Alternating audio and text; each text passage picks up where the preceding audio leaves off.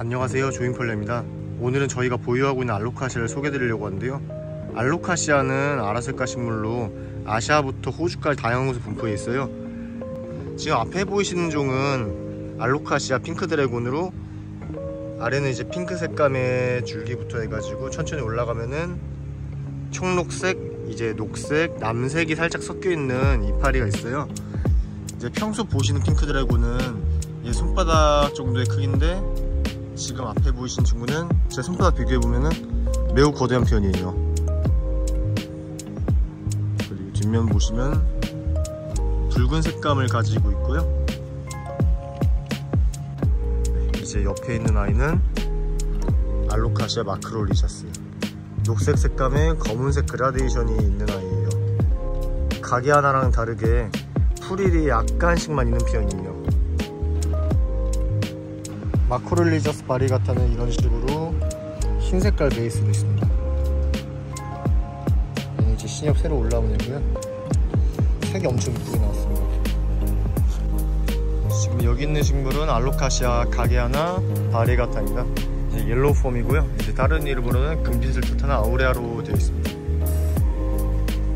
다른 이름으로는 이제 dwarf elephant ear라고 하고요. 작은 코끼리 귀란 뜻이에요 가장 이제 비슷한 종으로는 이제 알로카시아 odora가 있습니다. odora에 비해서 이제 절반 정도 작게 큰 애라서요. 쉽게 가정집에서 키울 수 있습니다. 알로카시아 red secret variegata고요.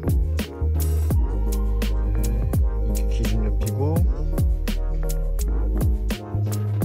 약간의 형광색 느낌으로 있고요. 여기 나온 애가 이번에 최근에 애. 이제 어느 정도 완성된 형태고요.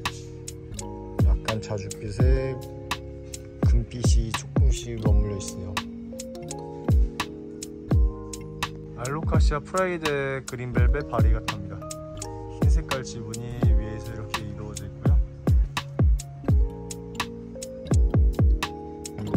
요즘 굉장히 인기가 많아가지고 많은 분이 찾고 있는 아이들이죠. 거부 발로카시아들은 이렇게 지금 많이 생산 준비 중입니다